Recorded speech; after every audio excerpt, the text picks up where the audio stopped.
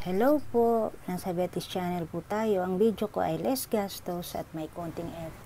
Bali, ang gagawin po natin ngayon ay medyo kakaiba sa mga naunang video ko, ang DIY throw pillow from scratch. Ang mga materials po nito ay mga lumang stuffed toys, lumang unan, at mga lumang damit. Bali, ang base nito ay lumang kurtina rin po. Since holiday season po, Bali, marami po ang nag-general cleaning. Maraming mga bagay na tinatapon natin na hindi natin alam na pwede pang gamitin. So, naisip ko nga po na gumawa ng video tungkol sa DIY through pillow from scratch. Ang ginawa ko po ay maliit na square. Pero kung gusto nyo po ng medium o large, pwede po kahit ano pong size. Sa shape naman po, pwede pong heart shape, circle, rectangle, oblong, o kahit ano pang shape yan. Depende na rin po sa inyo yan. Bali, tahing kamay lang po ang ginawa ko rito. Pero kung meron po kayong sewing machine, mas okay po yun. So, wag na po nating patagalin at gawin na po natin ang DIY pillow from scratch.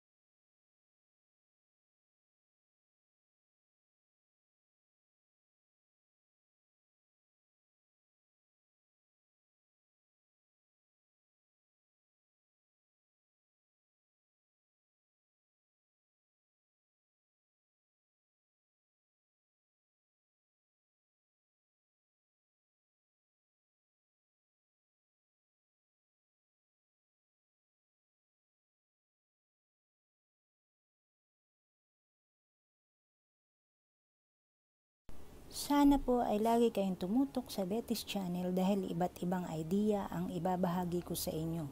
Abangan nyo po ang next video ko, ang trophy low cover dress. Thanks for watching. God bless you.